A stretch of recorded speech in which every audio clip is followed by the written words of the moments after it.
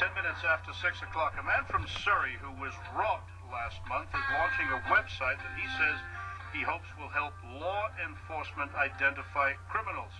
We'll call him by his first name only, Fabio. He doesn't want his last name used for what he calls security reasons. Says it's not about being a vigilante, but helping police identify unknown suspects. And I know that some people have an issue about, you know, anybody can post anything, and you know, personal vendetta can be, you know, um, use uh, this website for.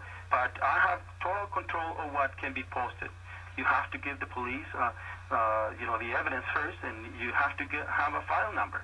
Our reporter Brett Minier is here. What's he trying to do? Well, it all started for him after his own home was targeted. He had a, a video security system in his house. And, uh, you know, when he took a look at the video when the police showed up, uh, the guy had looked right into the camera and there was his face. And, um, you know, with that, uh, you know, the police took the tape and I guess there was some trouble identifying him. And he told me that, you know, a light went on in his head. Why not uh, these kinds of images out to the public and help the police bust these guys, identify these guys? Somebody knows who they are. So let's uh, create a forum, kind of like YouTube, and the way the website is laid out is very much like YouTube. It looks like it's based on the same kind of software. And um, this is the idea, and he's hoping that law enforcement will use it.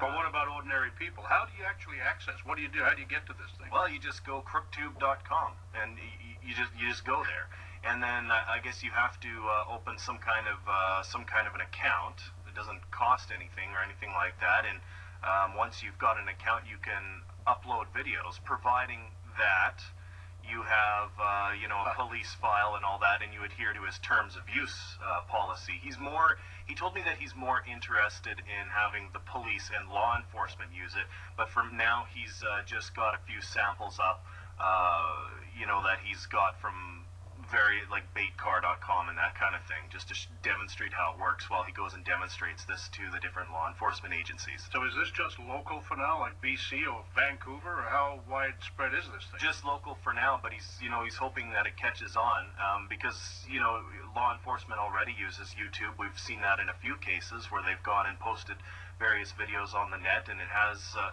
uh, you know resulted in some arrests and whatnot that way. So you know he's hoping that it'll catch on.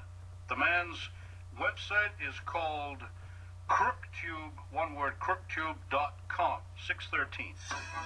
This is the CKNW Morning News with Philip Till.